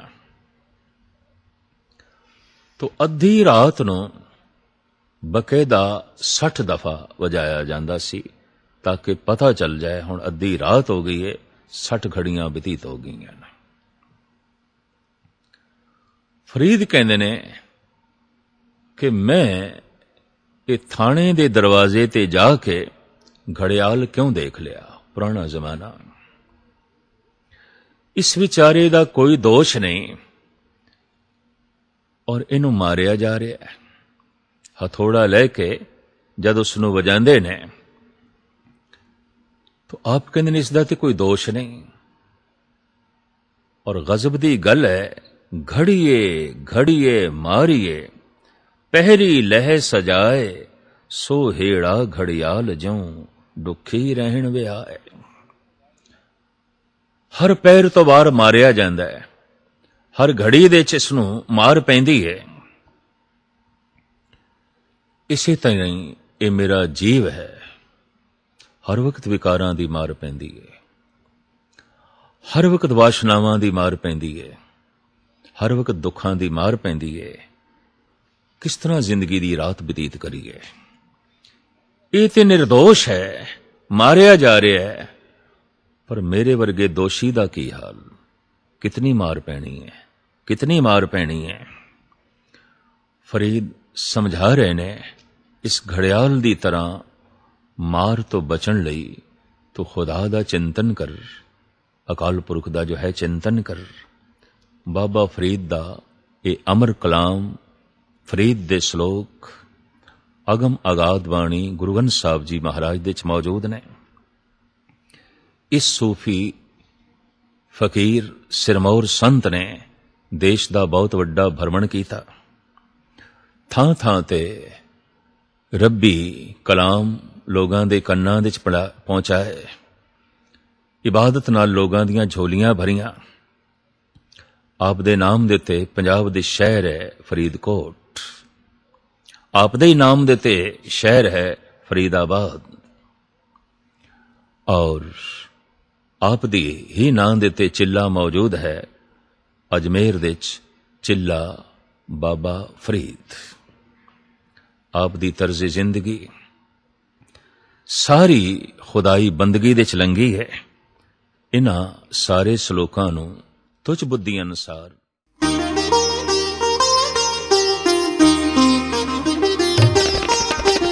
ਯਾਰ